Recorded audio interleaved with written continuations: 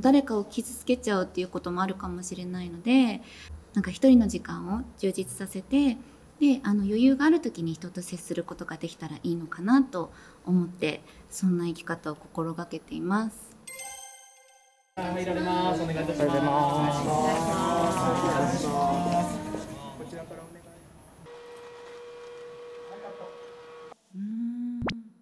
掃除？あの当たり前のことかもしれないんですけどお掃除を毎日すごく結構やっててお家出る前に一通り掃除したりとか寝る前も全部こう整えて寝るっていうことにしててでそうすると心の平穏が保たれるなと思っています。あの部屋の乱れは心の乱れっていうふうに子どもの頃から教え込まれていたんでその習慣が今も根付いています。人と会わないこと無理して人と会ったりとかすると負担がかかっちゃうと思うので一人の時間を充実させるっていう方向なのかなと思ってますそういう時期は。ずっと読みたかった本を読んだりとかあと原稿を書くことあるんですけど原稿を書き溜めたりとか、はい、一人でできることいろいろ探して意外とたくさんあって作り置きするのもそうですしやっぱ細かいとこの掃除とか排水口とか。あと愛犬と遊んだりしてます。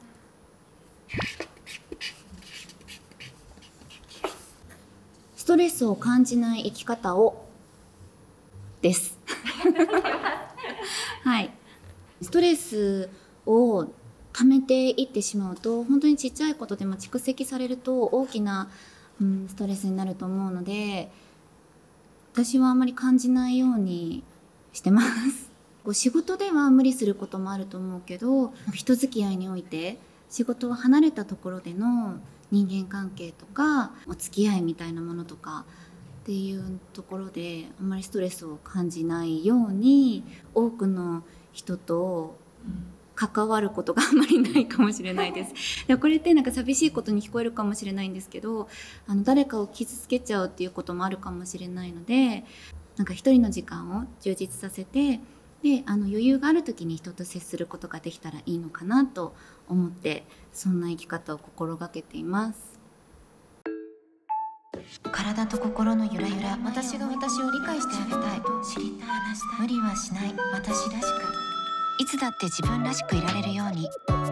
フェムニケアフード始めます。私の体に食べる飲む新習慣